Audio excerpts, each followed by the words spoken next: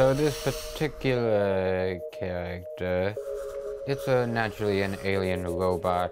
I'd most likely fit him into the category of an infogroid, probably one of the bad guys. Isaac is 20 years old. He was diagnosed with autism when he was three. He's interested in anything that has to do with science fiction. No infogroid is complete without its big glowing red eye.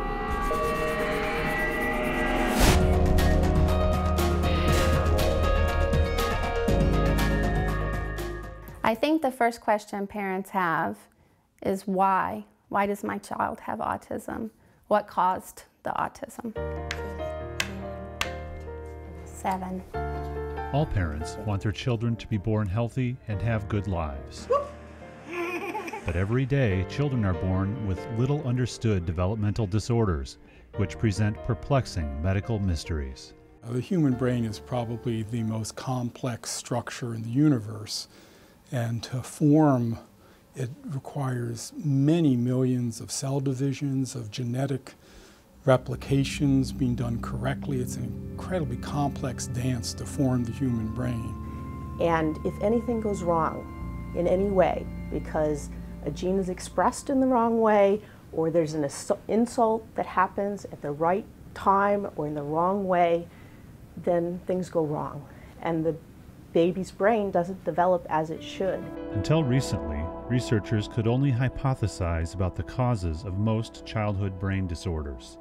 Imaging scans could provide some information, but scientists needed to see genetic variations, and now they have the capability to do it.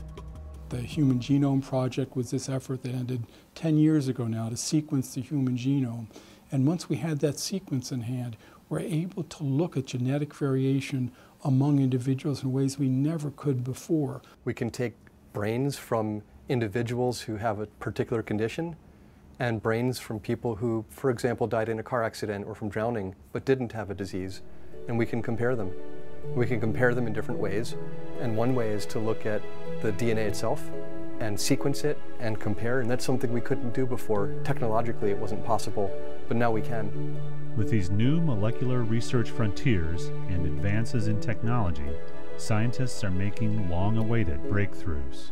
We recently had a thrilling moment of making a discovery in finding a gene mutation that can account for this disease, Sturge-Weber syndrome. This discovery is really very, very important because prior to understanding what gene caused this, we really had no idea what caused Sturge-Weber syndrome. It wasn't like a needle in a haystack, it was like a needle in a million haystacks. And this one change, we believe, accounts for Sturge-Weber syndrome. And this is just a thrilling moment. To unravel the perplexing medical mysteries of childhood brain disorders, scientists need to study human brain tissue donated by families. There's another one of Nathan. For Nathan's mom, love for her son, born with Cockayne syndrome, and her desire to help families in the future motivated her decision to donate the tissue. That was hard for me to actually make that decision to um, donate his, his tissue, his brain. Um, but um, I, I, knew from a research perspective and from a, a logical, I want to help people in the future perspective, that was an easy decision. A family's decision to donate brain tissue is a gift, and an enormous gift, that may help other families in the future. Donations to the University of Maryland Brain and Tissue Bank are making these discoveries possible. It's a team effort between the families, the researchers, and the brain bank. Uh, if he were the one making the decision, he would have made the same decision I made in hopes that he could help his, his the same kids that with CS. Or it is bigger than that because I think as we figure out the puzzle of all these genetic diseases, it's going to, you know, help all the kids. Now, more than ever, families, tissue banks, and researchers working together can change the world for generations to come. If families and researchers join together, we are going to be able to make differences in the lives of children like we've never been able to do before. Uh, what do you think? Do you think there's going to be a cure for autism? There are many ways for families to participate in research and help scientists understand and find treatments for children born with brain disorders. I have been trained in pediatrics, and my intentions were not to go into autism.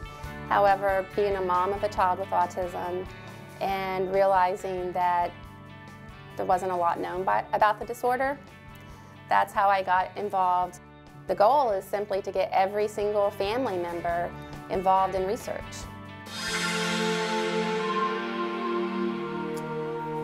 And we realized, you know, some of what we learn in the future may not help our child, but maybe it'll help other people's children.